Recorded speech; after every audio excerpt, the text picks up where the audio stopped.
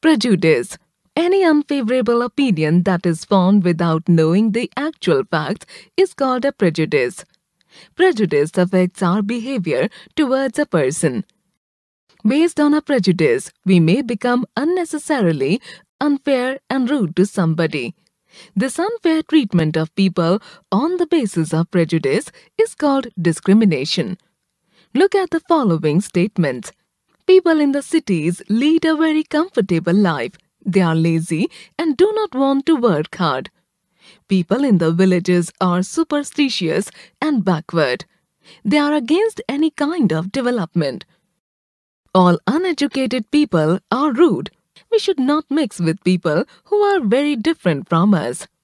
The above statements are examples of prejudice. Sometimes our prejudices stem from one particular incident or person and we develop unfounded negative views about people. Prejudice is a very unhealthy attitude. We should get rid of all kinds of prejudices and try to judge people only after interacting with them personally and positively.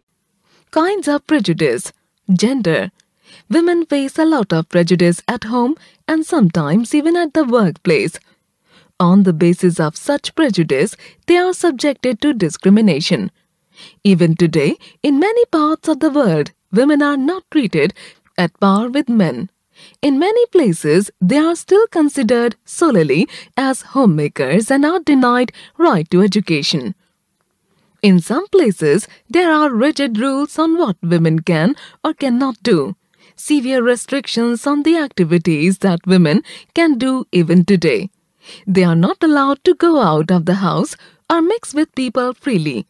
Very often employed women get paid much less than their male counterparts for the same amount of work done.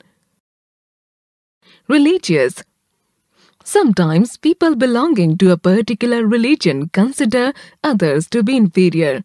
They try to impose their thoughts and views on them. This is called religious prejudice. This often leads to violence and extreme hatred. Race or region or caste. Prejudices based on region, race and caste, etc. are deep-rooted. People of the so-called superior castes consider people belonging to the other classes inferior to them. Such an attitude leads to a lot of discrimination the unprivileged class is not allowed to mix up with the so-called superior class. An extreme form of discrimination is untouchability. Similarly, some people consider their own region superior to the rest of the country.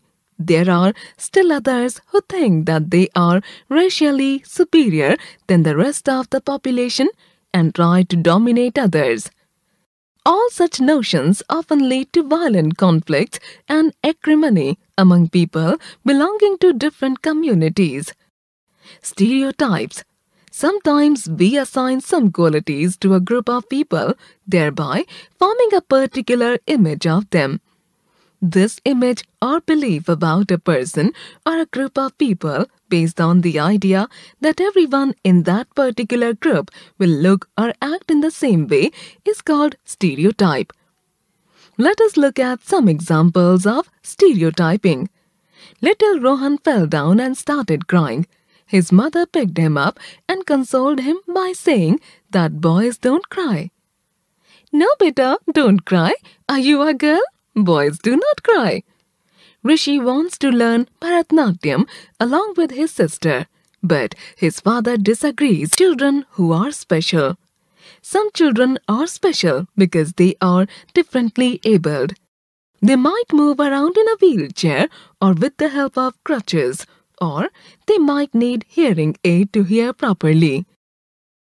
Some children are not able to see, while some others cannot read or write fluently like their friends. Special children need our special care and attention. They need love, respect, and acceptance by others. We should neither take pity on them, not make fun of them. It is important that differently abled children do not face discrimination. Till recently, regular schools did not admit children with special needs. so they had to attend special schools meant for them.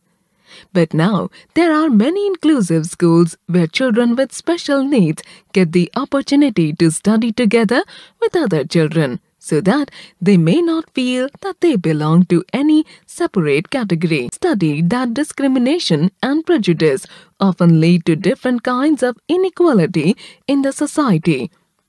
One of the most prominent examples of inequality is the caste system, in which people from the so called upper classes consider everyone else in the society inferior and deny them most of their rights. Traditionally, Indian society has been divided into different castes on the basis of occupation. Brahmins, priests, Kshatriyas, rulers and warriors, and Vaishyas, traders, were considered to be superior castes and therefore respectable, while Shudras or the lower castes were oppressed and discriminated against. An extreme form of discrimination was untouchability. According to this practice, we assumed lower caste people were considered impure and untouchable and were forced to live outside the boundaries of the society. They were not allowed to interact with people belonging to the higher castes and were denied opportunities of education and even religious worship. Due to the efforts of social reformers such as Ishwar Chandra Vidyasagar, Sri Narayana Guru, Mahatma Gandhi, and Dr. B. R. Ambedkar, the caste system as well as the practice of untouchability have been almost eradicated from the society. Today, all men and women are treated as equals and the practice of untouchability has been banned by the Indian equality in the Constitution. The framers of the Indian Constitution, led by the chairman of the drafting committee, Dr. B. R. Ambedkar, envisioned that all Indians should get equal rights and opportunities and be considered equal. The Constitution gives equal rights to men and women and does not allow any discrimination on the basis of religion, race, caste, sex, or place of birth.